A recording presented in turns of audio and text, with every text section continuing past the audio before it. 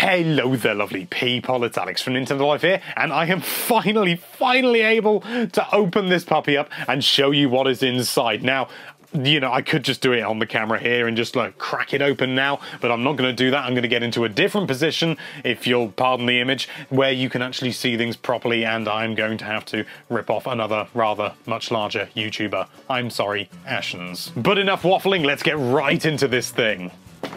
Boom. Okay, that's enough of the Ashens references. Yes, let's unbox this sucker. I don't want to wait any longer because I've been putting it off. I've only had a tiny, teeny little peek inside, and that was just, just basically to keep me calm whilst I prepare to do the actual unboxing. So let's get cracking right into it. Ah, so, eh.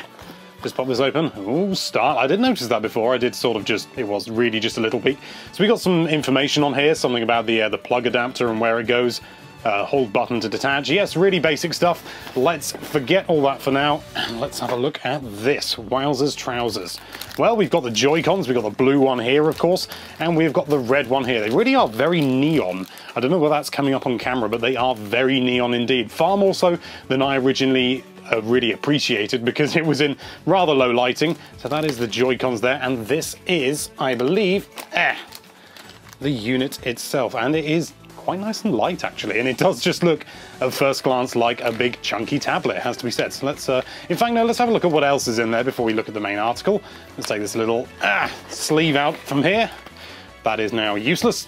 What else we got here? We've got Oh, I know what that's going to be. Pop that to one side. We've got an instruction manual, important information. Mm, very important. Ah, what have we got in here? Come on, out you come. Ah, I know what this is going to be as well. Let's have a look at this. Why not? Let's have a look. This is the dock, yes. Oh wow, it's got a nice matte feel to it as well. Almost, it almost feels rubberized, but I know it's not. If that makes any sense at all, probably not. Got a little door on the back as well, just, yeah, that just pops open like that. You got AC adapter, USB, HDMI out, all the lovely things that you would expect from a dock. Anyway, Let's move on to what else we've got in here. This is, well, it appears to be the HDMI cable, and indeed it is. Let's have a look at this sucker. Yeah, that is indeed an HDMI cable. Um, I don't really know what else to say about that. It says Nintendo on it, which is nice, um, but apart from that, pretty pretty straightforward. And now this is a big chunky monkey that you can expect if you live in the United Kingdom, because this is a UK plug, yes, and that is the USB-C on the end there, which is rather nice. It says Nintendo on it. It's a fairly weighty thing, actually. Wonder what the output is. I'm going to have a quick look at that. Okay, now I am not the best source on this kind of thing because I am not an electrical engineer, but it appears to be outputting 5 volts at 1.5 amps and 15 volts at 2.6 amps. 2.6 amps, quite a lot, especially over USB. Is that a new standard for USB-C? I don't know. But let's uh, have a look at the last few items in here, and I believe they're both the same thing. Yes, they're little Joy-Con slidey, grippy things with the nice little buttons on top, which just basically push down the SL and SR buttons as you expect, a nice little metal finish in there. Well, I say finish, actually is metal, that's very important. And the other one, it's, it's the same thing. Almost entirely the same thing. Right, let's have a look at the Joy-Con now, shall we? That is very nice. It, oh, it really does feel nice in the hand. And I just wonder, yeah, I could I could get used to that. I, you know, I used it very briefly on its side like this to uh, see what it was like for the quick, super quick multiplayer where you just hold it on its side. And yeah, I could get, I could, I could easily see myself doing that for a bit. Not, not for too long, I have to say. And I reckon that with one of these, which I think actually they slide on that way by the looks of it. Yes, indeedy that is even better. And I think if you got one of those big wheels, I say big wheels, they're really quite small, um, I think it would be even more comfortable. And yeah, there is not a lot of travel on that stick though, it has to be said. If you look there, can you see that? There's not a huge amount of travel. I mean, to be honest, it's enough. And if you really want to go pro, you can use the Pro Controller as the name suggests. Anyway, let's move on to the other Joy-Con. This one is the other way round, of course, hey, I could even hold it the other way round. And um, yeah, it's basically the same thing, only it's slightly over this way. You know all this stuff, so let's have a look at the unit itself. Oh, it says Nintendo Switch on the back. That must mean it's a Nintendo Switch. It is indeed just that. And uh, is there any sort of screen protector on there? I'm not sure. It looks like there could be because there are some sort of little marks and things like that. But that could be from packaging. I don't know. And that is that is the whole thing. That is that's not a lot, is it? I mean, that's really that's diddy, isn't it? Okay, now let's stop beating around the bush. We've got to get some Joy-Cons on this thing and see what it looks like. Totally assembled. So we just slide those on there. Ooh, nice little click there. And uh, that one just slides on there like that. And that is the Nintendo Switch. Obviously, this is the neon version. You can also get J, uh, gray, not J. And uh, those these Joy Cons, they are not moving. There is not. They are not budging. They rotate, pivot every ever so slightly left and right, but apart from that, there is no movement there at all. If you hold on to this, like shake it up and down, it's not going to fall out. You really need to use these uh, these removing things on the side, which, oh, they require a little bit of force, which, um, to be honest, I would far prefer over them accidentally falling out of my hands and sliding off the Switch unit itself. So yes, I'm going to slide those back on. They slide on more easily than they slide off, it has to be said. But well, look at that. You know what? Should we power it on? I haven't done this yet. I, oh. Hello, you can see my face even. While we're just waiting for it to power up. Oh! oh, that is nice.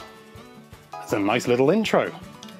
English, Francais, Deutsch, Espanol, Italiano, and other ones. I honestly don't know how to pronounce. I can't do an even vaguely appropriate accent for any of those languages, I'm afraid. But yes, so that is the Nintendo Switch. Let's have a quick look at the, uh, the game cartridge slot. That's uh, it's a little bit flexible there. That it nice slides down and it's got a nice cap motion on there. Whoa, I didn't mean to press a button there. Let's uh, let's go back. I'm just gonna well, I'm just gonna leave it like that. You know, I'm gonna turn it off because that's time. That's something for another video. You know, is that gonna power it off? I don't think it is. Come on now, holding it down. Nope. Not turning off. Doesn't want to turn off. Okay. Well, uh, let's just have a quick look at the kickstand. Look me and my sweaty hands. I've already got all sorts of rubbish all over the back. Eh. Look at that little kickstand there. And that just sits up like that. Is that still in shot? It is not. I'll tell you what, let's fold this box down and ah. Oh, kickstand's gone back in. It's on the other side, isn't it? Yes, it is. Just put that there. That is the Nintendo Switch on its kickstand. What a lovely little thing. But of course, that's not all we've got to look at. In fact, I'm going to put that to one side because I don't see I'm going to be able to turn it off very easily. Let's have a look at the last piece of the puzzle, which I should have looked at beforehand. This is the Joy-Con, what is it called? The Joy-Con grip, that's it. I tell you what, I'm going to have to get the Joy-Cons off the main device. Once again, I'm going to do it on camera. Ah, I'm pressing buttons I'm not intending to. Oh, ah, ah, get those off. Pop that to one side slide these in and see how nicely this goes. Oh, nice. Now I believe, there we are. Oh yeah, it's nice. It's a nice little compact controller. It's not too big. Um, again, if you want big, go for the Pro Controller. That's pretty obvious. But it's nice. It's, it's nice and, and obviously it's still connected. Let's have a look. Let's get the kickstand up. Pop that there.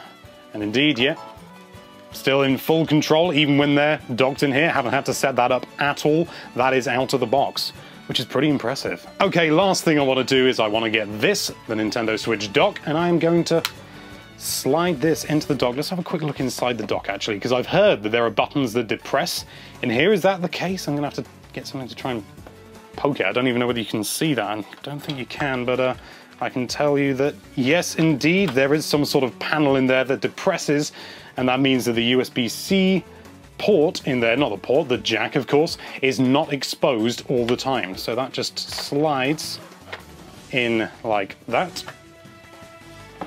And of course it's not going to turn the screen off because there's no HDMI going in there so we can't tell anything that's happening but it does well, it doesn't know. It's just going to stay on. But yeah, that is the Nintendo Switch unboxing. I've been waiting for this for so, so long because, well, this has been here at my house, but uh, I haven't been able to uh, do anything with it because I've been on holiday. And you can still hear the Switch going that's a lot of good fun. One last thing, one very last thing. Now I know, you know, most people will know about this and they're sort of wondering why am I doing it, and it's just because, well, why not? You know, I've got the Switch here, so I might as well show you. I don't think this even needs, nope, it doesn't, doesn't need to be, it's wirelessly connected. See those little lights there, they indicate that they are player one and I can just control it like this. I'm not sure how much I'm going to be doing this, but uh, it's nice to have that option, and that's something you can do out of the box. No setup, nothing like that. I'm not gonna I'm, I'm not gonna set it up. I'm gonna do that on another video. Good lord, you're probably gonna think this video is never gonna end, but I have just noticed something else. As I slid this Joy-Con back on, well actually it was the blue one, listen to this. Oh, it does the little switch sound when you slide it back on. Let's hear that again, just to make sure we can definitely hear it so that you aren't left in the dark. You listening? Okay. It really is something marvelous, really is something special. I'm so, so annoyed that I'm not going to be able to keep this one because I've got to send it to my colleague. But thank you so much for watching. If you like this video, then why don't you slide a Joy-Con onto either side of that subscribe button? I'm pretty sure I said that one already, but you know what? I'm going to do it again because it was a good one. And be sure to check out NintendoLife.com for all sorts of lovely Nintendo-related content. Thank you again for watching. Bye-bye.